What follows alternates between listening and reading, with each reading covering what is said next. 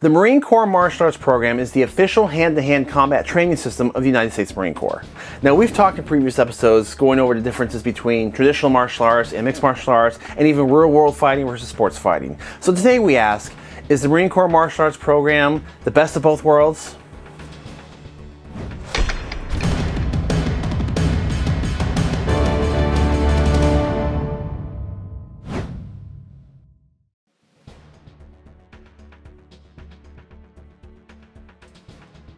Now we're definitely going to circle back around again to reapproach this topic and hopefully conduct some interviews with those um, involved in the martial arts program. But today is going to serve as more of an introductory and a beginning discussion topic on the Marine Corps Martial Arts Program, or MCMAP for short. We're going to look at what the program is, the scenarios in which it can be used, then to look at the training regimen, including which arts are implemented and also how the ranking systems work. And then we're going to maybe get some feedback on what some of the Marines that have been through the program feel about it. So for those unfamiliar with this, the first question might be, what is MCMAP?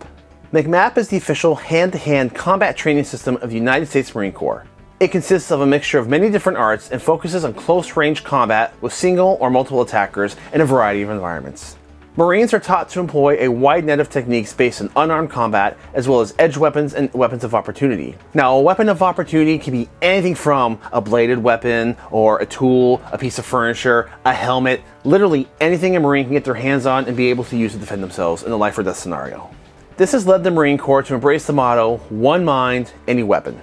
In this frame of mind, they consider every Marine a rifleman and always armed, even when they find themselves without a weapon.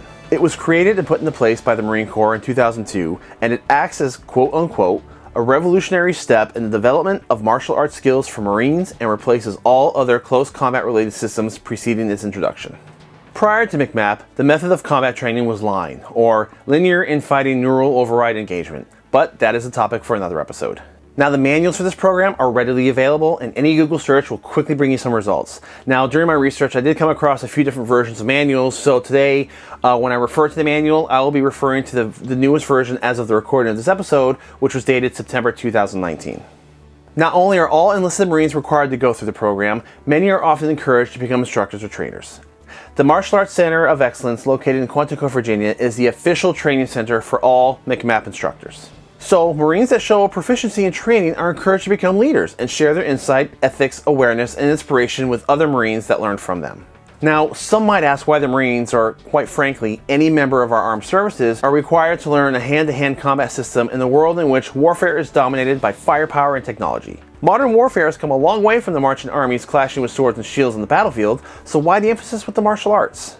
Well, to put it as bluntly and honestly as possible, sometimes happens. There could be any instance where something goes horribly wrong. A vehicle can break down, a position can be overrun, a, a Marine might encounter somebody on a perimeter check, you know, a gun might run out of ammunition, a gun can jam. You know, we go back to the concept of a Marine always being armed, even without a weapon and that dictates that in any given situation a Marine might find themselves in, they should always have the means to fight, even if that entails hand-to-hand -hand combat. Now, let's consider some environments that members of our armed forces may find themselves in. Holding a city, or clearing out a building, or doing perimeter checks. It's not uncommon for a Marine to turn the corner of a building and come into close contact with an enemy combatant. And because of this, Marines are trained in the MCMAP system to fight in many different environments, including close quarter hallways, streets, woods, beach, and other natural environments where a violent clash may occur. Now there's a phrase I encountered a lot while researching this, and that phrase was ethical warrior. Included in MCMAP are both lethal and non-lethal techniques. Marines are taught to use judgment and awareness and realize that sometimes a situation may not require lethal force. It could be a matter of submitting a person of interest and placing them under arrest, or having to subdue a non-combatant or other situation in which a Marine may decide that lethal force isn't necessary. Enlisted Marines are encouraged to mesh together any previous martial arts training that they might have. You know, much like an MMA gym would take pieces and be a melting pot of multiple arts, you know, they try to make the best combination of striking, kicking, takedowns, throwing, grappling, and weapons defense. According to one of the manuals, MCMAP approved civilian arts are grappling or throwing arts such as, but not limited to, judo, jujitsu, sambo, hapkido, and aikido. Striking arts are, but not limited to, karate, taekwondo, kickboxing, muay thai, kung fu, and capoeira. Weapon arts are, but not limited to, kobudo, eskrima, kali, kendo, and iaido. And much like you would find in an MMA gym or UFC fighters, you'll see that MCMAP utilizes mainly stripped down versions of these arts. They will combine the techniques into quickly delivered maneuvers, because while MCMAP may simply resemble outdoor MMA, there's a very important luxury that UFC fighters have the privilege of that Marines or other service members don't have. Time. Time ahead of a competition to prepare for an individual opponent. Time to prepare for that specific person's weaknesses. Time in the ring to experiment, find your pace, rhythm, look for openings. Patience and pacing, or a clock with timeouts. It's not a sporting match. It is literally life and death. If a Marine turns a corner and finds himself face to face with an armed combatant, it has to end like that. You know, they have to end the confrontation in one to two movements. They can't tie themselves up on the floor with BJJ and they can't spend five minutes duking it out back and forth. It has to end quickly because there's a good chance that that one assailant might not be alone and the Marine needs to be prepared for multiple attackers. And as awesome as the UFC is, it is still a game with rules and safety built in. Real life combat is not. The Marine Corps martial art program is broken down into three broad areas of focus physical, mental, and character. So let's take a quick look at each one as they are outlined in the MCMAP manual. MCMAP is a weapons-based martial arts that utilizes physical discipline to improve mental resiliency and confidence. The martial arts fighting techniques include stances, posture, movement, striking, cutting, thrusting, grappling, restraints, joint manipulations, and weapons integration which include rifle slash bayonet, bladed weapons, and weapons of opportunity. There's also a high priority placed on physical fitness. Physical fitness allows Marines to temper physical abilities in order to react better to the demands of combat. Physical exhaustion is one of the most effective and available tools used to prepare Marines to handle the physical and mental fatigue associated with combat. Now, the mental discipline of MCMAP consists of the warfighting doctrine and professional military education. The warfighting doctrine includes the study of the art of war, tactical decision making, the tactics, techniques, and procedures of expeditionary maneuver warfare, Marines Corps, common skill training, force protection, and risk management. Professional military education is the mental development of each Marine to create the eternal student through formal schools, distance learning programs, the professional reading program, battle studies, warrior case studies, the historical study of war, and the study of the Marine Corps history, customs, courtesies, and traditions. And then we have the character discipline, which is the development of the moral compass on and off today's complex battlefields. The core values of honor, courage, and commitment form the cornerstones of the character discipline. Leadership traits and principles provide Marines with guidance on how to lead in any situation despite the circumstances. Marines will have the tools to effectively lead their subordinate and peers no matter how dire their situation. MCMAP utilizes character development tie-ins, which focuses on values-based decisions such as responsible use of force, substance abuse, social responsibility, suicide prevention, sexual responsibility, equal opportunity, and much more. Regarding uniforms, as per the manual, when conducting MCMAP training, boots and utilities are required at the minimum with a plan in place to eventually upgrade in training with Kevlar vests and armor. So think about that. It's like training for the UFC, but you have to wear 50 pounds or more of boots, utilities, gear, and you have to be prepared to perform and fight unknown assailants, multiple of them, immediately having run upstairs or a hill or jumped out of a vehicle. So forget the comforts of a karate gi or MMA shorts, wear all of that and then be prepared to fight for your life here, here, and here.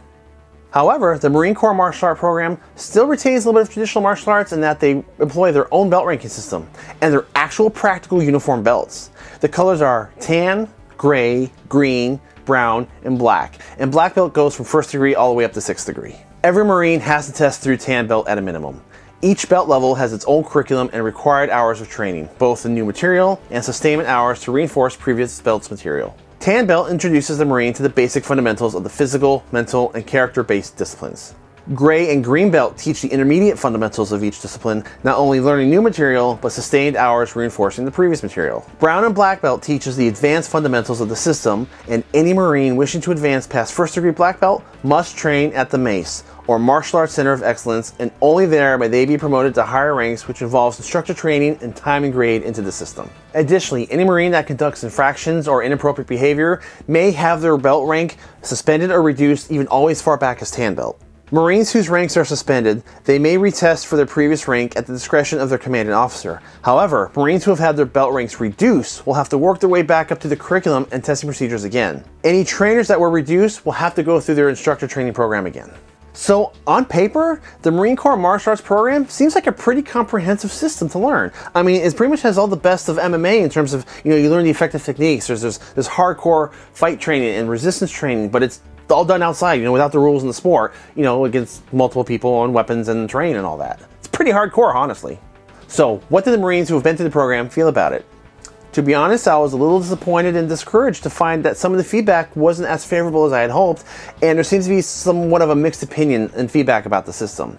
Now, I have not been through this myself, I can only echo the comments that I came across while researching this episode. Some feel that MCMAP serves more as a checklist for instructors to show progress. Some say that training hours are even cut just to advance the Marine quicker. Other comments said it was a waste of time and served more of a hazing ritual than anything else, and that it was good for learning the basic locks, sweeps, and weapons techniques, but that the rest was a little bit too complicated or impractical to use in the real world. Now, on the positive sides, though, I found that there were those who said it was good for getting into shape and improving their endurance. Many liked the boxing and grappling aspect, even though some felt it should have been kept to just that. And one highlight is that much of the training and sustainment hours are dedicated to free sparring, so at least there seems to be a consistent amount of resistance training in place. As a general consensus, I think this program is fascinating, at least at surface level, and regardless if you think traditional martial arts or mixed martial arts are better, this serves as a great example to set aside the difference between combat in a dojo or a ring and the real world life or death scenarios that are really out there. Now, regardless of what art you train in, I fully believe it always comes down to the individual and the skills that you can achieve based on the hard work that you invest into the program. I have a tremendous amount of respect for all of you out there who put yourselves on the line every day to serve and protect us all. So thank you so much for that. And I think we can all learn the important lesson of one mind, any weapon. So now I invite all of you service members out there who have actually been through the program. Is it an effective way to learn combat, or do you feel there's areas that require a little bit of improvement? I encourage all feedback. Please keep everything civil. I'm looking forward to the discussion. Thank you all so much, and we'll see you next week.